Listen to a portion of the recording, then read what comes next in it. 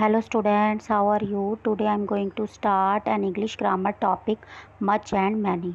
Okay students इस video में मैं आपको मच एंड मैनी के बारे में बता रही हूँ और इस वीडियो में मैं आपको इन दोनों का डिफरेंस क्लियर कर रही हूँ।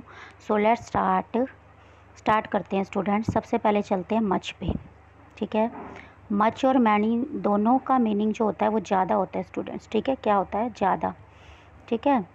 तो वैन टू यूज़ मच सबसे पहले देखते हैं मच का यूज़ जो है वो कब होता है। We use much for non countable nouns example coffee bread rice water juice jam etcetera okay students much का यूज़ हम नॉन काउंटेबल या अनकाउंटेबल नाउंस के साथ करते हैं, ठीक है?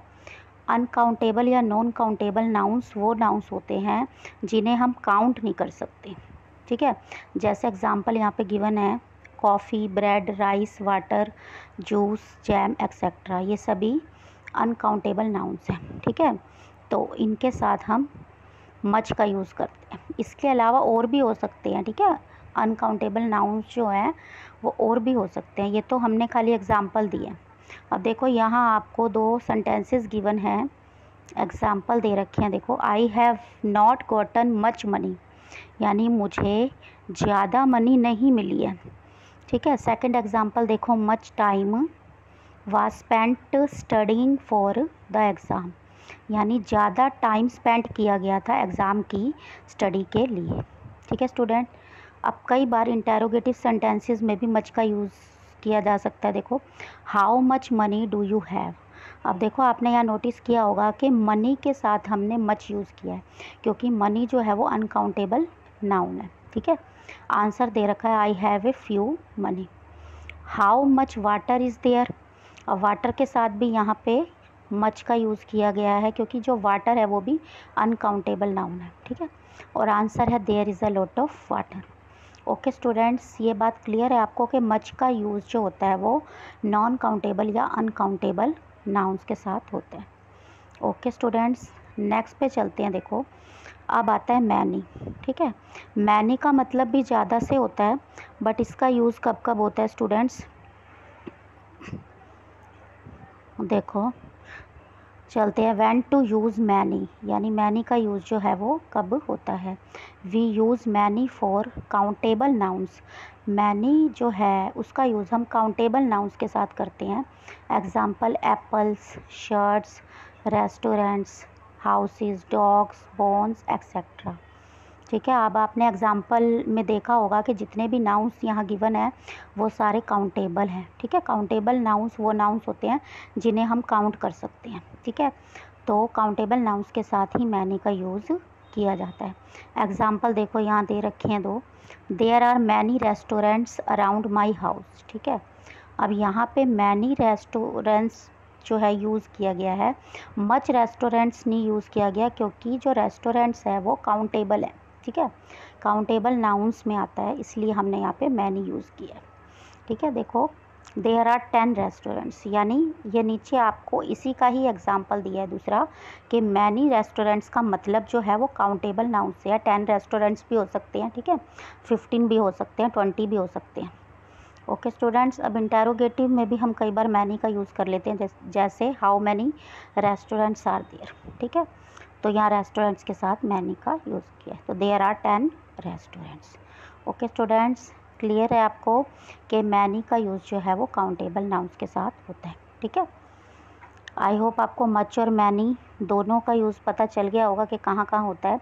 अब कुछ फिलअप्स के ज़रिए जो मैं आपको अच्छे से क्लियर कर देती हूँ ताकि आपको अच्छे से क्लियर हो जाए। देखो decide whether you have to use much और मैनी ठीक है? अब देखो फ़र्स्ट सेंटेंस पे चलते हैं। We saw dash animals at the zoo ठीक है? तो अब देखो एनिमल्स जो है, जो एनिमल्स है, वो काउंटेबल नाउन है। ठीक है ना? काउंटेबल नाउन है ना? तो इसके साथ हम मैनी का यूज़ करेंगे। तो यहाँ पे ये बताना है हमने कि मच आएगा या मैनी आएगा। तो यहाँ आएगा मैनी। ठीक है? सेकंड पे चलते हैं। How dash oranges did you put in the box यानी कितने ऑरेंजेस जो है तुमने बॉक्स में डाले। तो ऑरेंजेस जो हैं, वो भी काउंटेबल नाउंस हैं, ठीक है ना? तो यहाँ औरेंजेस के साथ भी मैनी का यूज़ होगा क्योंकि वो भी एक काउंटेबल नाउन है। थर्ड देखो थर्ड जो सेंटेंस है, वो है हमारा there is not dash sugar in my coffee ठीक है? यानी मेरी कॉफ़ी में जो है शुगर नहीं है। यहाँ पे ये गिवन है। तो शुगर जो है वो एक अनकाउंटेबल नाउन है और उसके साथ यहाँ पे मच का यूज़ किया गया, ठीक है ना? यहाँ पे हमने नाउन ही देखना है कि काउंटेबल नाउन है या फिर नॉन काउंटेबल नाउन है, ठीक है? और उसी के हिसाब से हमने मच और मैनी का यूज़ की, करना है। तो यहाँ पे शुगर एक अनकाउंटेबल नाउन है, इसलिए हमने यहाँ पे मच का यूज़ किया है। हम मैनी का यूज़ नहीं करेंगे। फोर्थ सेंटेंस में चलते हैं, देखो। फोर्थ में गिवन है I don't have dash friends ठीक है? तो अब यहाँ पे फ्रेंड्स देखो। फ्रेंड्स जो है वो काउंटेबल नाउन है। तो फ्रेंड्स के साथ क्या यूज़ करेंगे? मैनी फ्रेंड्स ठीक है? Fifth sentence is the old man has not got dash hair on his head ठीक है? अब जो हेयर है, वो एक अनकाउंटेबल नाउन है। हेयर जो है वो काउंटेबल नाउन में यूज़ नहीं होता। उसे अनकाउंटेबल नाउन में जो है लिया जाता है तो हेयर के साथ हमने यहाँ पे मच यूज़ किया, ठीक है? मैनी हेयर नहीं आता, कभी भी मच हेयर आता है, ठीक है? नेक्स्ट सिक्स सेंटेंस देखो क्या है। I have packed dash bottles of water मैंने पैक्ड कर ली हैं, ठीक है?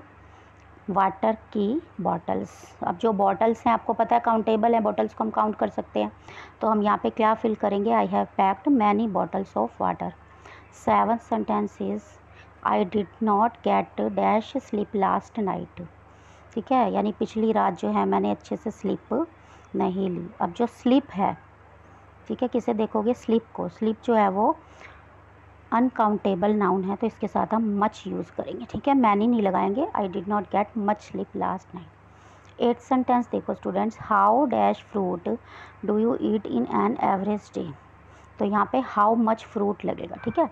अब स्टूडेंट्स देखो, जो फ्रूट्स होता है ना फ्रूट के आगे अगर एस लगाओ ठीक है? प्लूरल में जब फ्रूट्स यूज़ होता है तो उसके साथ हम मैनी फ्रूट्स यूज़ करते हैं। लेकिन यहाँ पे फ्रूट है ओनली फ्रूट्स नहीं है, ये चीज़ ध्यान रखना। तो जो फ्रूट होता है, वो अनकाउंटेबल नाउन में काउंट होता है, ठीक है? फ्रूट्स नहीं है, यहाँ पे फ्रूट है। तो इसलिए इसके साथ हम मच लगाएँगे। हाउ मैनी फ्रूट नहीं आएगा? हाउ मच फ्रूट अगर फ्रूट्स होता तो हाउ मैनी फ्रूट्स आता? ठीक है? ये चीज़ क्लियर कर लो। तो इसे हम अनकाउंटेबल नाउन मानते हैं, इसलिए हाउ मच फ्रूट आएगा यहाँ पे। ओके स्टूडेंट्स आई होप आपको ये सभी फिलअप्स अच्छे से समझ आ गए होंगे और मच और मैनी का यूज़ भी अच्छे से क्लियर हो गया होगा। Okay thank you